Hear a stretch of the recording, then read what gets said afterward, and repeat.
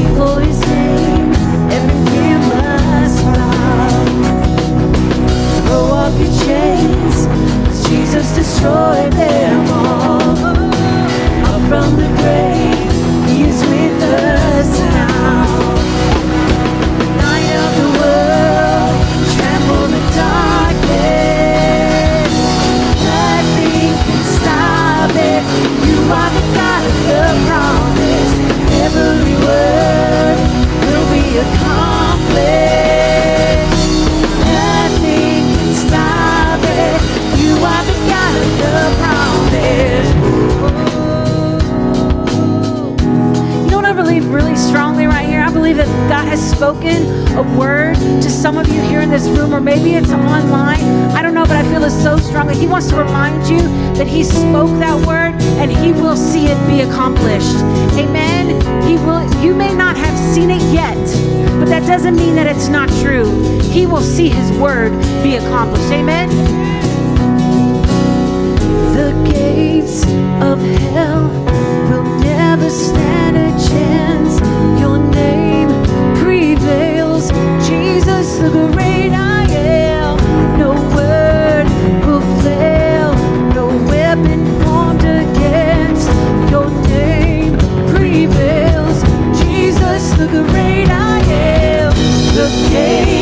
of hell will never stand a chance. Your name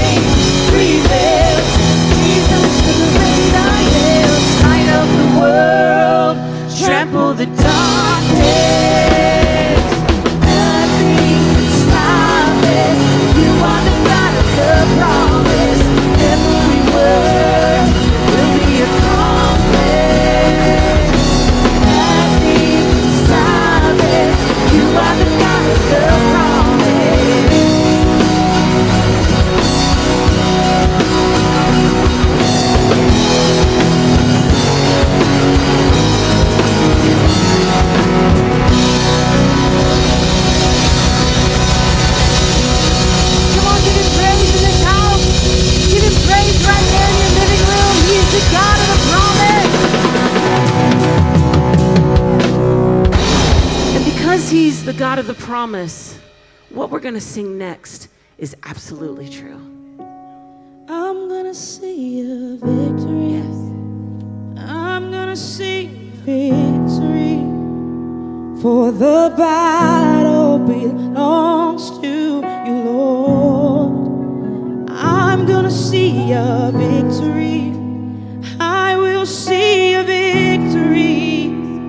For the battle belongs to you, Lord. Let's sing that again. I'm gonna see a victory. I'm gonna see a victory. For the battle belongs to you, Lord. I'm gonna see a victory. I'm gonna see a victory for the battle belongs to you, Lord.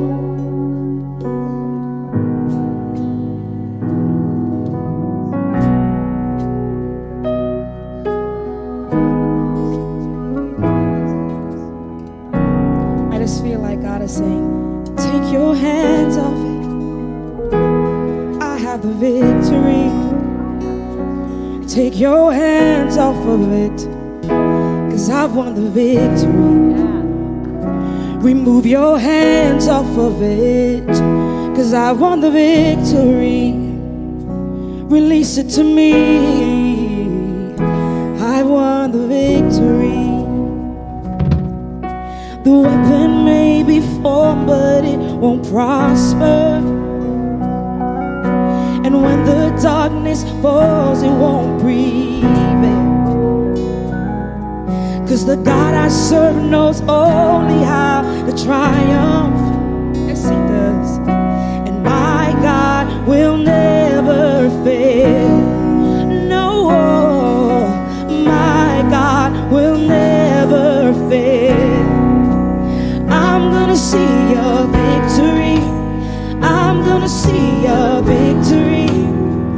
for the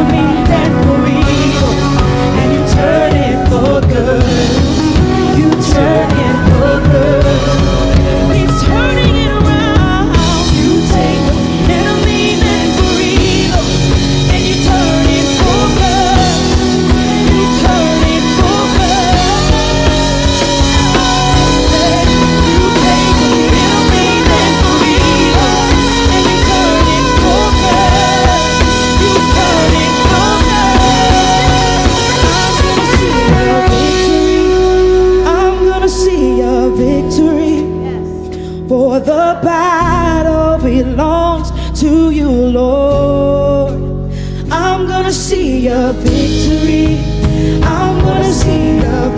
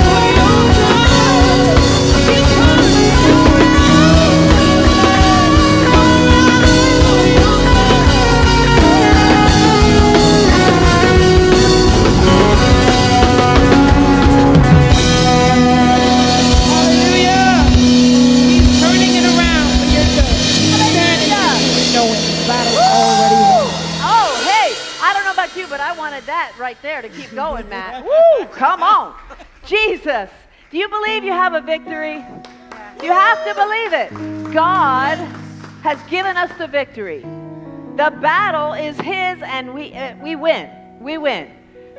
Oh, I hope that you were able to understand how much God loves you, how much He wants you to see that victorious side of your life and not live in the circumstances, and that He can turn everything around. Everything that's going on in your life, He can turn it around for good because it glorifies Him. The Lord led me to a Proverbs 21. You know, it's the book of wisdom.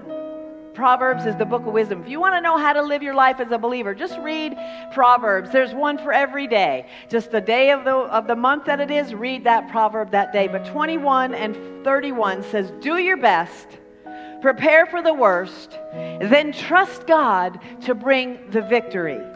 Do your best and trust God to bring the victory. What does that mean? It means we just don't stand there and wait for something to fall from heaven. We do our best and we believe that God, we trust that God is going to bring that victory no matter what you're going through. God wants to see your submitted heart. God wants to see you're fully surrendered to His will and His way. Even Jesus said, Not my will, your will be done. The victory is ours, church. The victory is ours. So don't live in an, a defeated life. Don't live in a place that is down and depressing and, and full of darkness. But if you're there, you can come up on out of that. That's what we're here for to encourage you, to pray with you, to show you that God's word is powerful and it works and it will not return void. If you have a prayer request this morning, I want to pray for you right now. Those of you that are at home, I want to pray for you as well. You're going through some stuff. Some people are not here because they're compromised in their immune system. Some people's spouses or family members can't be around anybody. So we're praying for you. We're believing that God is making a way for you to, to, to, to push in to the things of God. Okay? So I'm going to pray, but I also want to let you know at the end of service, if you want to come forward, our prayer team is coming. They'll be wearing masks. They have some sanitizer for you. Uh, they want to pray with you as a point of connection for maybe whatever's going on in your life. That's at the end of the service. But right now, would you extend your hands and let me pray over you at home here in the building? Father, you know the needs of the people that are here this morning. You know those that have been living kind of in defeat or darkness, depression. You know the ones that have a hard time coming up out of that, Lord. And so I pray right now the victories in you, Jesus, would be made known to them, Lord. They would see the victory in Jesus. They would see that you got everything about them. You've got that in your heart, in your hand. You're working towards a good ending for them in this situation. And so I pray right now, Lord God, no matter what the need is, Lord, they would sense your presence. They would turn this thing over to you so you can turn it around for good.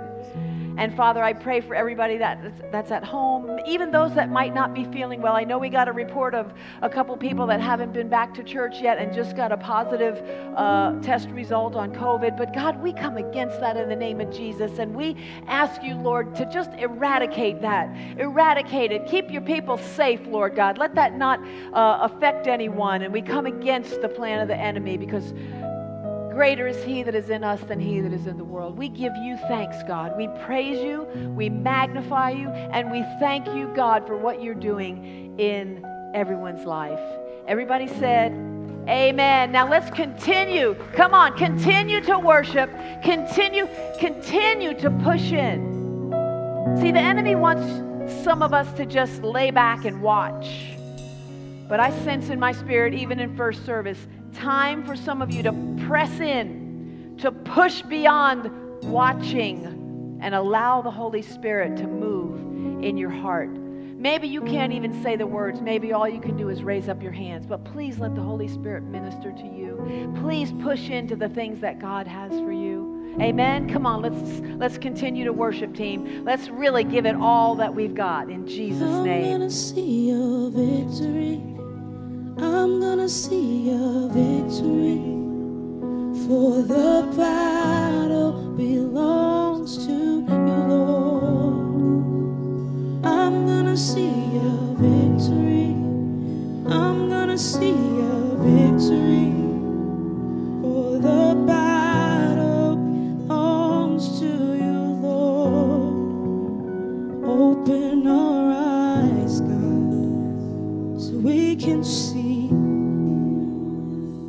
What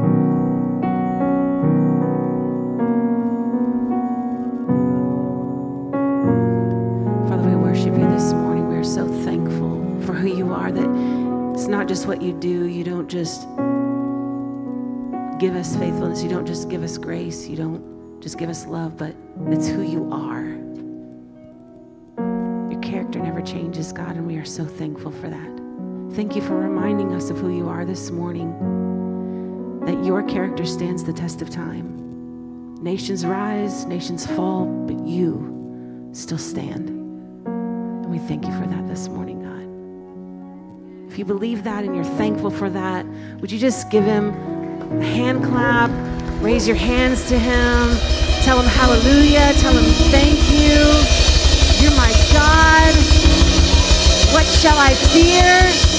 Nothing, nothing will I fear because you are my God. Amen.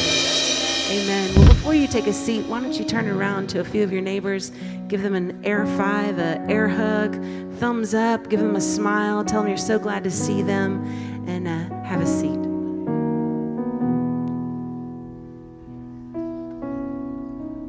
All right, Father's house. Man, we're growing, we're coming back. How many of you excited to be in the house this morning? Awesome, awesome, awesome. Man, it's such a blessing to be able to come and fellowship with those in the body, isn't it? My name is Eddie. I'm part of the school of ministry here at the Father's house. And welcome, welcome online guests as well. Uh, we love that you're here and joining in. And um, thank you for your faithfulness, faithfulness in giving. Paul wrote to the church, early church, in a letter to the Corinthians that if the intention and desire are there, the size of the gift doesn't matter. Your gift is fully acceptable to God according to what you have, not what you don't. So if in your hand you have a tool, you have a hammer or a screwdriver, and in the other hand you don't, you're going to use that tool. You're going to use that method. So, as you're giving this morning, you've got some different ways that you can give. You can give online at thefathershouse.com forward slash give. Um, in the seat back pockets in front of you, you can uh, mail those in or you can drop them in the generosity buckets here as you leave today. And then you can also text giving to 352 329 2301. So, about that tool that you have, it's not about what's in the other hand that you don't. Use what God is giving you to bless others and be generous. And the reward that you get will be immensely more. Amen. How many of you so excited for part four of the end zone? I know I am. Here it comes.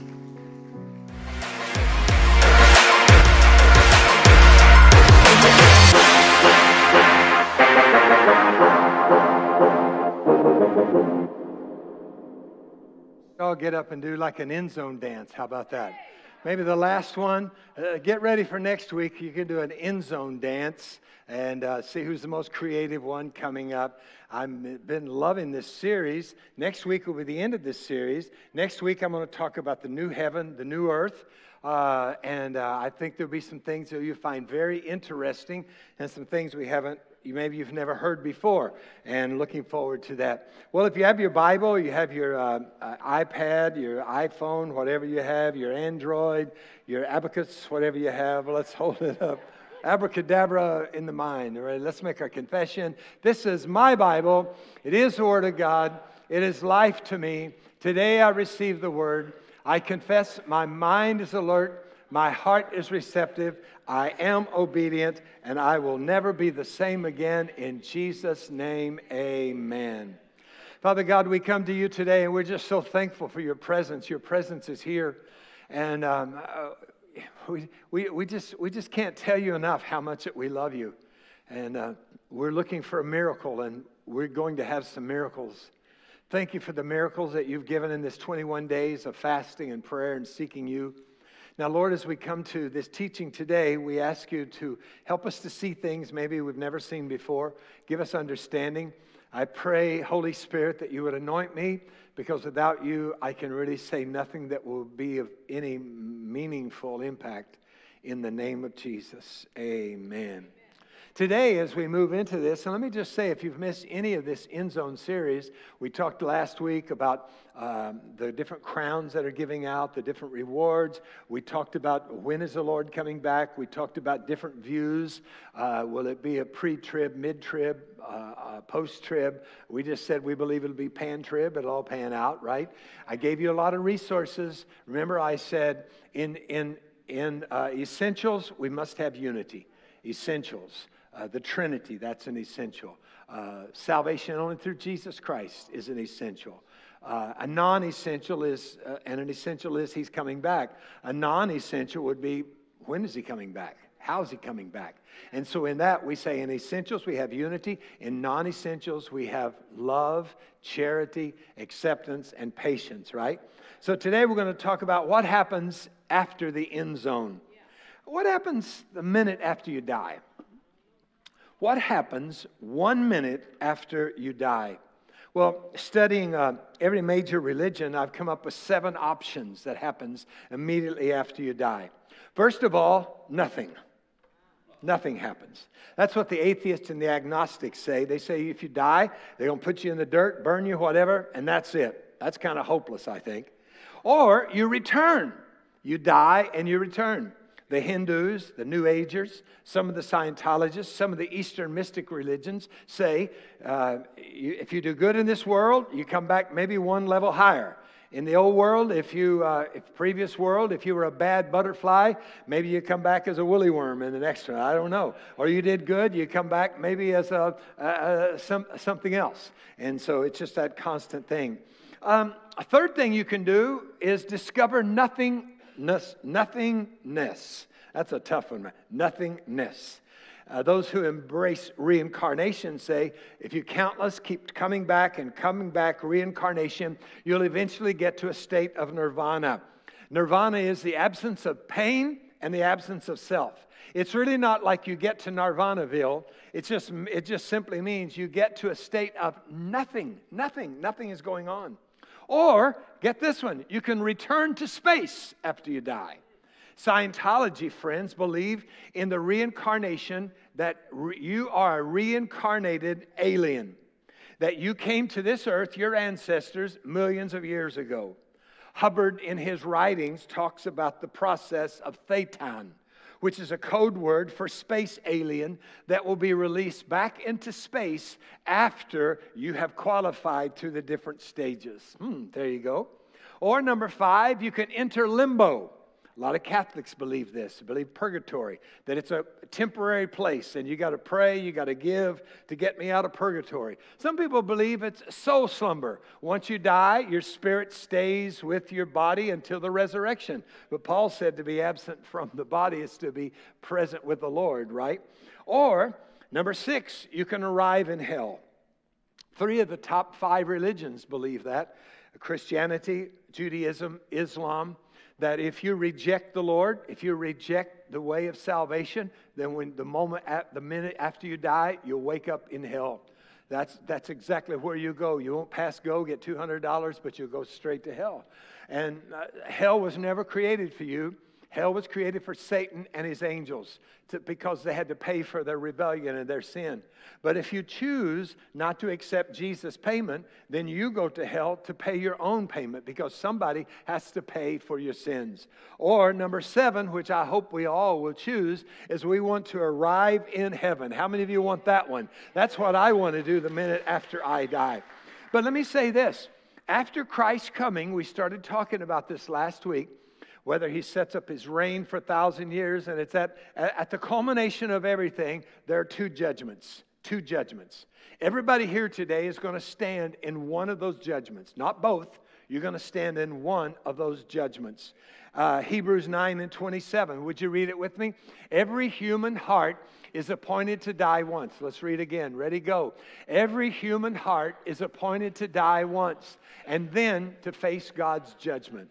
You will die. Everyone in here, unless the rapture happens before you die, you will die, and then you will face God's judgment. The end of Ecclesiastes in the Old Testament said this God will bring every act to judgment, including every hidden thing, whether it is good or whether it is evil. In other words, He's more than an all seeing eye. He sees all of it and He keeps a record of it. So after the end zone, you will face, everybody in here will face one of two judgments. It won't be billions of people, and then the Lord gets up there and say, okay, y'all did good. And somebody in the back says, What did he say? He said he needs some more wood. No, it's not that, all right? It's, it's you as an individual. He's going to look at you, and you're going to look at him, and you will be judged for your life. The judgment seat of Christ is the first judgment we want to talk about, and it's the Bema seat. It's a seat where the, where the king would sit and he would give out rewards to runners or to warriors who would come back in. So, the judgment seat of Christ that we, we as Christians, if the Lord has forgiven us of our sins, I'm not judged for my sins. Jesus has already been judged for my sins. But when I invite Christ into my life, my destiny, my judgment is set, and I'm going to go to the judgment seat of Christ. And it's a judgment seat in which that He's going to give out thank yous. He's going to give out rewards for how you've been faithful in this life. 2 Corinthians 5 9 and 10. So whether we live or die, we make it our life's passion to live our lives pleasing to Him. For one day, we will all be openly revealed. That means every motive that we've had will be open to Christ on His throne. So that each of us will be duly recompensed for our actions done in life, whether good or worthless. We said last week, this was a good one. Let's say it together. Remember, belief determines where we spend eternity, and our behavior determines how. My belief if I believe in Jesus, then my eternity is I'm going to spend eternity with Him on the new heaven and the new earth. If I say, No, I don't believe in you, Jesus, you're a good man, but I'll take care of my own sins. I don't need you in my life. I'll handle it. I don't need anybody telling me what to do. Then my eternity has been decided. I have decided myself that I will spend eternity separated from God. In this world, God will do everything He can to gather us to Him so that we are partners with Him. But if you keep rejecting and rejecting and rejecting, there'll be a day, a day that you die, or at the end of that, and your choice of rejecting Him has determined your eternity. But our behavior determines how we will spend eternity. I said last week, not everybody's going to get equal rewards in heaven. Heaven is not a socialistic country.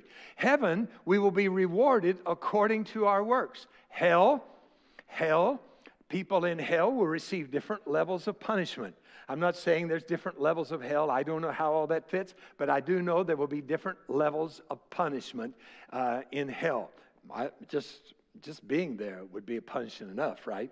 People say, well, I just partner, party with my friends. We'll party. No, you won't. Hell is a place of total separation.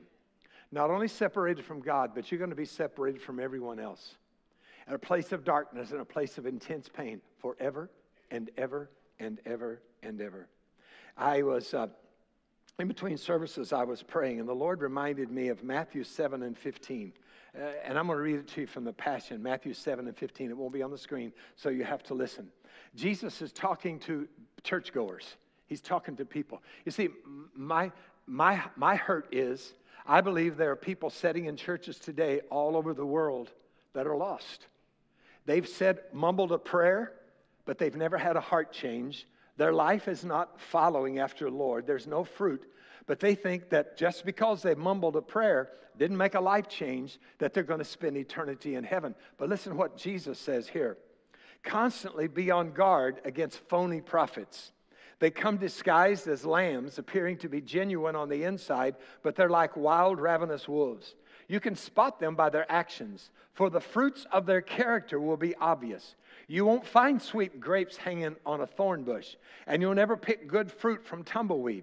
So if a tree is good, listen, it will produce good fruit. But if a tree is bad, it will bear rotten fruit and it deserves to be cut down. Look at the obvious fruit of their lives and ministries, and then you'll know whether or not they're true or false. Listen to what he's people say. Don't judge me. Jesus just said, I can judge you whether or not that you're a Christ follower by the fruit that's in your life. You say, Well, I don't like that. I like this thing that I pray a little prayer and I'm, I'm, everything's taken care of. So you're saying that if you pray a prayer with your mouth and your brain, but it doesn't affect your life, that you're all right? Here's what Jesus says to that. Not everyone who says to me, Lord, Lord, will enter the realm of heaven's kingdom. It's only those who persist in doing the will of my heavenly Father. On the day of judgment, many will say, Lord, don't you remember? Didn't we prophesy in your name? Didn't we cast out demons and do many miracles for the sake of your name? But I'll say to them, Go away from me, you lawless rebels. I have never been joined with you. You said words, but we were never joined together. That would be like me saying to my wife, uh, all the years that ago that we were married, stand there and say, I love you, I'll always be with you. And then we never had a relationship. We never had a, a, an understanding. She lived her life, I lived my life, but yet we're married, but we have no relationship. And that's what Jesus says. He said there are people that took out fire insurance, prayed a prayer to get guilt off of them, and they never changed their life. They never bear fruit. You see, it's not the fruit that gets me to heaven, it's the fruit that tells me whether or not that I have a relationship with the Lord. And then the fruit that I produce affects my standing with him in eternity. Does that, does that make sense? Uh, Matthew 16 and 27 says, For the Son of Man is going to come with his angels in the glory of his Father, and he'll repay each person according to what he has done. Paul gets more specific about this. He says, On the day of judgment, fire will reveal what kind of work each builder has done. You see, there are a lot of people who serve God and have gifts, and they use those gifts, but they use them for their own glory. They want to be seen. You know, they, I, have I've seen I, have been to places where when preachers preach, they want everybody to take notes, they want everybody to watch. And then when they go to a conference, they sit back, never take notes, and never even carry their Bible. You see, when they're in charge and it's theirs, they're ready to give it all there is. We've had people like that on the stage. They told Andrea, said, Well, if you'll let me sing that solo, or if you'll do it this way that, you, that I want, or this, then I'll, I'll do that. You see, they can then do it, but guess what? They've lost their reward. There's no reward in that. The reward is wherever God places me, I am faithful until he does something else in my life. Look at this is what it says here. The fire will show if a person's work has any value. If the work survives after he judges it. So, in other words, he's saying today, Terry, I'm going to judge this teaching that you're teaching. It's not by how many amens you get. It's not by how many people say, Oh, I like that, and how many tweetable things they put. But I will judge you according to what I put in you and what my word says. And you're going to be judged for the motive. Was your heart right? Did you get up here just to be seen? There are a lot of churches, a lot of pastors, a lot of worship teams, they just get up to be seen. And it's all about them being seen. Well, he says, Yes, but your, your act is going to be judged by the fire of God. Look at this. If the work is built, burned up, the builder will suffer great loss. The builder will be saved, but it'll be like somebody barely escaping the walls of flames. He said, Yeah, you'll make it to heaven, but you did everything for yourself. You did everything only to please you. It's like, you know, it's, it's your world and we get to live in it. You ever met anybody like that? It's quiet, but you know what I'm talking about. You, I saw you, somebody cut your eyes over. Stop that. It's gonna, we're going to be amazed when we get to heaven to see who's going to get the big rewards. See, some of you that don't make a big splash out in public, the Lord has seen everything you've done for years. He's seen your faithfulness. He's seen your faithfulness when it was not easy. And He's going to reward you, not according to you just showed up, but He's going to reward you because of your motive. I'm doing it because I know He gifted me, and I'm going to give Him my very best. The second judgment is a great white throne judgment. And I hope nobody here today will be at this one because this is for unbelievers. Revelation 20, 11 through 15. Then I saw a great white throne and him who sat on it, from whose face the earth and the heaven fled away, because unbelievers don't want to look into the face of God. And there was found no place for them. And I saw the dead, small and great, standing before God. And the books were opened, and another book was opened. He said, There's, there's a stack of books. That's going to be the works that you have done as an unbeliever, the evil that you've done. And he said, There's another book called the Book of Life. And if your name wasn't in the Book of Life, then he shut that book and he turned to the books, which have a listing of every wrong you've ever done. He said, The sea gave up the dead who were in it. Death and Hades delivered up the dead who were in them, and they were judged, each one according to his works. Then death and Hades were cast into the lake of fire. This is the second death, and anyone not found written in the book of life was cast into the lake of fire. It's just the same as, as believers.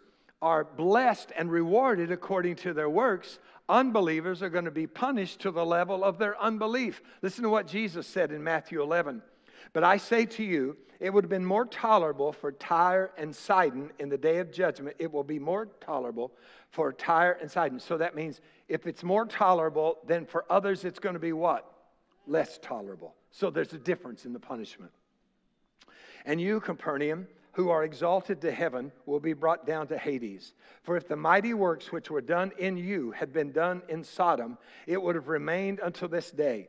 But I say to you that it shall be more tolerable for the land of Sodom in the day of judgment than for you.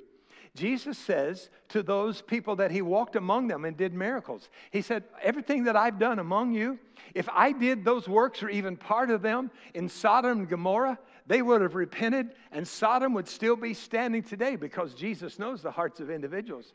But he said, All these works I've done, and you've kept rejecting me, so your punishment is going to be bigger, even those in Sodom, because they didn't see me. They knew that the Messiah would come, but they didn't see me. So I'm telling you today, it's not good news. You're here, and if you reject the word, because he says, To whom much is given, much is required. So if you hear today me saying there's two judgments, you can't say, oh, gosh, golly gee, I, I didn't know it was going to happen. No, you're going to be held accountable. And so when you hear me say you're going to be rewarded as a believer according to your works that you have with the right motives, you can't say, oh, but I did this and I did that and I did something else. No, it's according to our works. Our destiny is settled by our belief, but how, how we work is going to depend on the benefits that we have. Romans 2 5 and 6 says, But because of your calloused heart and refusal to change direction, you're piling up for yourself wrath in that day when God's judgment is revealed, for he will give to each one in return for what he has done. So he said, if you, compl- if you continue to rebel and rebel and rebel, you're piling up wrath. In other words, your punishment is going to be worse than others. Heaven is not the default. We live in a world today in which that I think that we've come to this, we just, this, I don't know what it is. It's just kind of like a, a, a place that we've got into, this bubble, like, well, you know, it's going to be all right. Everybody, you know, is going to get to heaven. Everybody's going to see Jesus. And if, if that were true, Jesus died in vain. The pain and the punishment was on his back in vain. It's not, heaven is not the default, hell is the default. You've heard people say, well, you know, Uncle Billy Bob died and Uncle Billy Bob's in a better place. You know, he never had much for Jesus and didn't have much for church. No, he's not in a better place. Listen to me. He's not in a better place if he never invited Christ into his heart. We've got to wake up as a church and wake up as individuals that people's lives are, are, are decided in the decisions that they make. So you say, okay, well, what, what's my next steps? How, what should I do? Well, here it is. First one is repent of your sin with urgency. Repent of your sin with urgency. If you've never invited Christ into your heart, or if, if you mumbled a prayer years ago, but your life hasn't changed, your heart is not after Jesus. I mean, you think about Jesus when you're in a need, or you think about Jesus on Sundays, but the rest of the week, you, you don't have any thoughts about Him and then you play around with sin. Listen to me, listen to me today. Repent of sin with urgency. If you're an unbeliever today, listen, I, I beg you, I beg you in, in, every way that I can not to leave this service today unless you know without a shadow of a doubt that if you were to die today and you would wake up in the next minute that you would be in the presence of the Lord. Don't mess it up. Don't blow that. Don't say, well, next week I'll make a change or I'll make some other time. No, it's today. Repent of sin with urgency. And second of all, if you're a Christian, don't play with sin. Don't say, how close can I get and still be all right? Oh, Excuse me. I found a flat Jesus. All right. Flat Jesus was worshiping with us today. Now I'm going to let Flat Jesus uh, teach with me today. It's a long story. You have to go online and see some of those things, all right? Not Flat Stanley, but Flat Jesus. How many of you know Flat Stanley? Okay, all the kids know Flat Stanley, all right? And, uh, but we have a flat Jesus. You should, you should know Jesus. He's not always flat. Proclaim, here's the next one proclaim the gospel with urgency. Proclaim the gospel with urgency. You believe in heaven, right? You believe that Jesus is the only way to get to heaven? Then who have you, with urgency, told about the Lord? Or at least just said to them, Jesus loves you. Some of you go home and you have kids that are lost. Some of you have parents and relatives that show up on Sundays for lunch or you go out. And you never say anything to them about Jesus. And I know what we think, well, I don't want to I don't want to pester them. I don't want to pester them. You know, nobody can be pestered into the kingdom of God. Nobody can be negatized into the kingdom of God. You don't, you don't reach people by saying, You're a horrible sinner, you're a horrible sinner, you're a horrible sinner. They know that. But for us to go on continually and continually and never say anything to our kids, you say, Well, I, I, I, just don't want to bug them. I wonder how much of a bug it would be on the day of judgment when you make it to heaven and they're separated into an eternity separated from God. Then will you feel bad that you bug them? I'm going to tell you, every opportunity that you have, you need to look at them and simply say, I love you with everything I have, and God loves you with everything He has, and He has a heart for you, and He's never given up on you. Every chance you get, you need to say that. You need to let people know that. That's witnessing, that's sharing, that's opening up the door. One of the ways that we do that is to help people is we have these little cards. And uh, I, I, give out these cards from time to time, and this one says, You're invited. We don't care where you've been, we just care where you're going, the Father's house. And just simply, I'll say to somebody, Hey, I don't know if you got a, a, a church that you go to. We went to get some carpet this week. I said to the guy, Hey, I don't know if you uh, have a home church or not, but we sure would love for you to come hang out with us at the Father's house. Just a bunch of losers who've been saved, a bunch of people who are sinners and have been saved by the Lord's grace and now we're no longer losers, but we're winners in Jesus' name. Here's another card we use. This, is, this says something extra to show God loves you. And uh, we include this with, with a tip. We have a lot of these cards outside. You can get them as you leave. Because some of you who feel like you're never really good at witnessing to people, you can use these cards. So you wrap a good tip around it. And when the waiter comes by, you hand it to him and say, You know what? You did a great job today. And I just want you to know that, that God loves you and He's got a great plan for your life. And hey, if you got any questions, on the back of this card, there's truelife.org.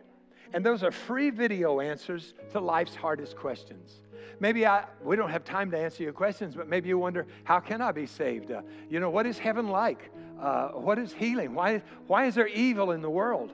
And so it's little quick things on, on truelife.org that answers those. So, you know, sometimes you wonder, well, how can I witness to a Muslim? Or how can I witness? Or what is this? And on there, there are people who've been delivered from that area and there's testimonies. So we have all these to help you. You say, but yeah, but I, I don't know if, it, if their life was changed. But yet, what if you planted a seed and then somebody else comes along next week and says, hey, I want you to know God loves you. And all of a sudden they begin to think, you know what? God might love me. I, I thought he didn't care for me, but God might love me. Folks, we've got to get urgent. We've got to get urgent about proclaiming this gospel of Jesus Christ and not let our loved ones die and go to hell.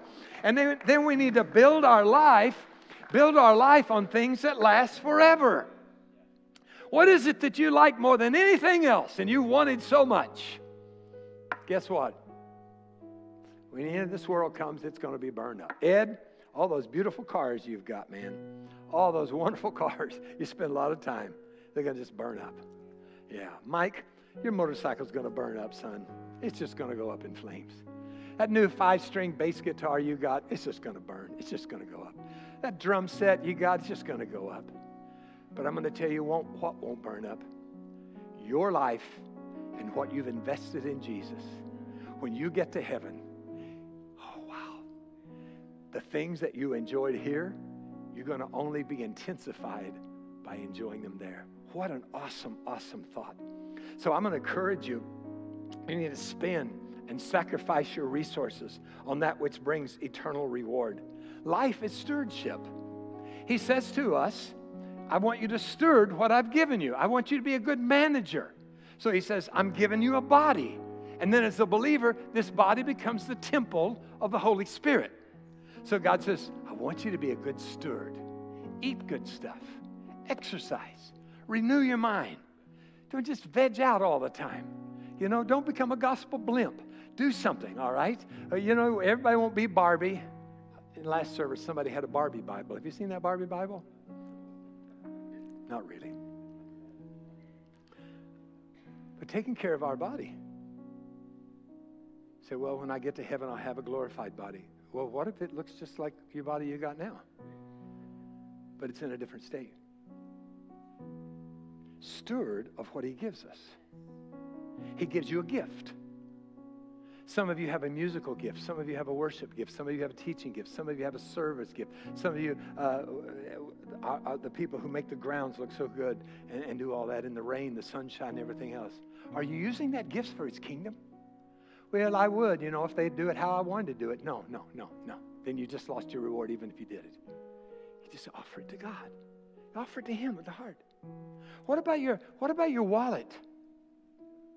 What about those reasons? Here, here's an interesting scripture. Lay up treasures for yourself in heaven. How do I do that? I do that through the tithe and through giving. Lay up treasures in heaven. He doesn't say lay up treasures in the Father's house, but he simply says something transactional happens when you present the tithe to the church and the offering. He said, You up. So I'm, I was thinking about this. And I've been a tither, a faithful, consistent tither, since I was seven or eight. So that means when I mowed yards and I'd get two bucks, I'd take 20 cents. We didn't give online back then. I don't even know that we had envelopes. We just, I just put 20 cents away. Don't tell me you're a good steward of the resources God gives you and you want Him to give you more if you're not willing to give Him the tithe on two bucks. So I started at seven. I was thinking, Tim, all of that I have given since seven, and now I'm 70, and if the heavenly interest rate accrues at God's status, whew, I'm wealthy. When we get to heaven and you don't have any resources because you've been so chintzy and spending it all on yourself and things that's going to burn up, if you come by, I might give you a dollar. Think about that. Some of you who feel like that you're right at poverty level, but you have been faithful in tithing and giving of what God has put into you. And on that day, you're going to get there and He's going to say, This is what you sent ahead of you. But I know a lot of other Christians, they don't send anything ahead. And they're going to get there and say, Well, why do they have it? Because what you did here affects what you do there. Does that make sense? Good stewards, good stewards. And here's the last thing I want to say today. It's my favorite. Remember, this world is not our home. This world is not our home. It's coming apart. Wow. He said, I'm going away to prepare you a place. Can you imagine what that place is going to be like? I'm going to talk a little about that next week. You don't want to miss that. I want to, here's what I want to do the rest of my life I want to make the new heaven and the new earth so real and so appealing that we can't wait to get there. That we can't wait to get there. And I want to make hell so real that people will know how much that we love them and care for them. Uh, what a tragic day. Look at this quote. What a tragic day of regret to stand before Jesus, the lover of your soul, and realize you squandered the one and only life you had here on earth. You ever squandered something? You ever squandered money? Squander on something, then you say, Where's your money? Well, did you get your money's worth? No. But that right there motivates me. Standing before the lover of my soul, barely making it into heaven, he said to the person who had gave out gifts.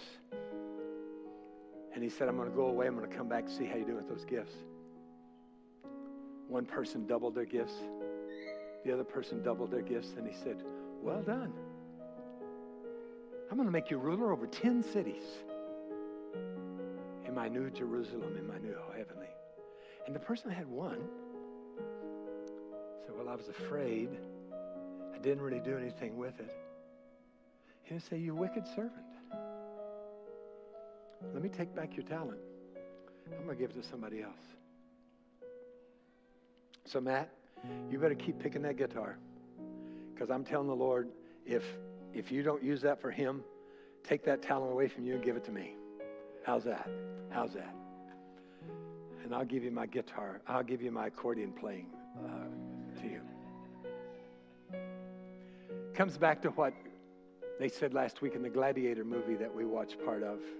Maximus said this What we do in this life echoes in eternity. Let's, let's pray.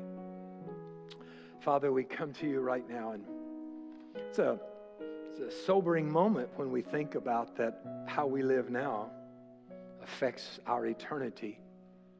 And the belief that we have now determines our eternity. Father, would you wake us up as a church? Forgive us of our unconcern for the lost. Forgive us for just sort of thinking everybody's going to make it. And Lord, we don't want to be uh, we don't want to be people who make people feel bad. But in a world that has no hope, we want to be people who make people feel hope. Forgive us, Lord, for not being compassionate. When we see people lost in our own family or those that work with us and those in our sphere of influence, would you break our heart with what breaks your heart, the lost? You looked over the city of Jerusalem and you wept because they were rejecting the only hope, and that was you. Lord, at the Father's house, break our heart with the lost. And Father, for every believer that's here today, would you remind us again what we do with the stewardship of our time, our talent, and our treasury affects our eternity. With every head still bowed and every eye praying, every eye closed and every head bowed. If you're here today and you're not sure, without a shadow of a doubt, you're not sure today that you're ready to meet the Lord, or you're watching online and you'd say, I, am not sure, Terry. I want to lead you in a prayer in just a minute. But I want to lead you in a prayer just with words. I want to lead you in a prayer that changes your heart's desire. So if you're in the house or you're watching online and you say, you know, I'm just not sure that I'm ready to meet Jesus. You know what? Maybe you've gone to church all your life. Maybe you've even done things in church, but you're just not sure. You don't have that assurance. Please don't leave. Please, please, I, I beg of you, please don't leave without that assurance today. So if that's you in the house or online, would you raise your hand and say, Terry, would you include me in this prayer? Include me in this prayer today. Thank you. Just raise your hand. Yes, include me in this prayer. Those of you that are watching online, today's the day I want to be included in this prayer. I want to know without a shadow of a doubt, without a shadow of a doubt, that I'm ready. Let me lead you in a prayer. Father God, thank you for your son Jesus dying for my sins. I ask you to forgive me of my sins. Come into my life and be my Lord and Savior. Fill me with your spirit. And as best as I know how, I'm going to serve you all the days of my life. Listen, if you prayed that prayer with me today, text decided to 352 329 2301. We, want, we have a book that we want to give you. It's called Now What? It's now that you've prayed that prayer, then what are the actions? What do you need to be working on? It's a great book. And if you need that, you're in the house today and you prayed that prayer, you can also get that out at the next steps table. And then as you leave today, at each of the doors, there'll be some ushers there with the uh, generosity bucket. You can drop in your tithe, your offering. I know maybe you haven't been coming to church and you give when you're here. So let me encourage you to be sure you do that. And if you haven't been doing that, let me sure you get caught up because you're going to need the Lord. You're going to need His help. And so we sow a seed, we reap a harvest. And uh, if you're a first time guest today, we're so blessed that you're here. If you'll take your connection card and go out to the balloon table, I have a book that I want to give you. Thanks for coming today. Would you stand? Let me pray a blessing over you. Thank you so much for coming today. God bless you. God bless you. So remember, this is what we're going to do this week. We're going to do it. Say it with me. Leading people into a growing relationship with Jesus.